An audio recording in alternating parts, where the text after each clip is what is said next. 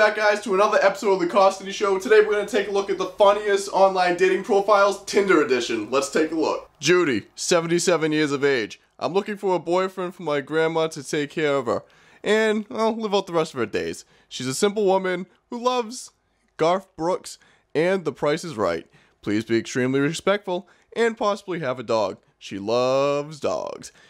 She's a great girl with a lot of love to offer. Well, I'm sorry, Judy. I'm 22 years old, and my age range caps out at 45 years of age. But hey, if anyone's watching this video and you got your age profiles range date set between your age and 70, maybe 80 years old, Judy might be the one for you. Miss Judy doesn't seem too bad of a lady. She's even got the profile filters going off of Snapchat as well too for a little uh, hairs there. And for the love of God, will you get your grandmother off of Tinder, please? Let's try not to find the lover of life on Tinder. She's 77. The last thing she needs is an STD right now. I'm telling you, if this woman has sex with anyone I know, she's gonna stroke out.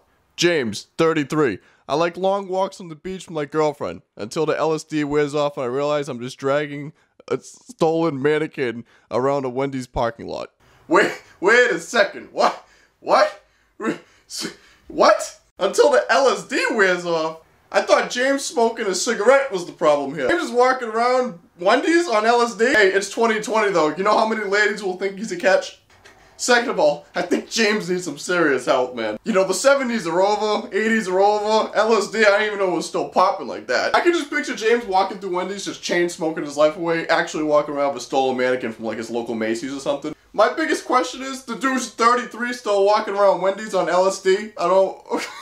hey, I'm sure there's a lucky lady out there with some daddy issues that'll be uh, likely to take James up on his offer to walk around with some dummy mannequins Wendy's parking lot at 4 in the morning. Samantha, 20 years of age, can't afford a vibrator, so here we are. Sam, Sam, you got a plate full of food in front of you. You realize for that amount of money, you could have bought yourself three vibrators? Sam's over here stuffing her face with freaking burgers and fries over here. Not to mention, that's like $18 worth of food. Trojan vibrators, four bucks. I can't trust a girl like Sam. Why? She's got that devious little smile. Look at her. She looks like she's planning. She looks like she's up to no good. She looks like she wants to take my money for me to buy her food, and that's why she has no money for food, because she doesn't have any money for food or a vibrator. It's like one of those girls that just take you on a date strictly just to get what they want. Food! I don't trust girls like Sam. They ruin your life. For the love of God, how long is this goddamn straw coming out of this drink? Melissa, 31. I am a hermit. I do not like to laugh, and I love making people miserable. My walls are black, and I have no furniture. I often chant in the candlelight while rocking back and forth on the floor. Oh my god. Wait a second.